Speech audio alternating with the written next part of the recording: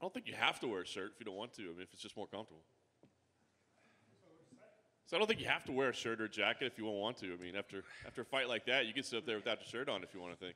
Women and children watch this, mate. gotta Fair enough. gotta keep it straight.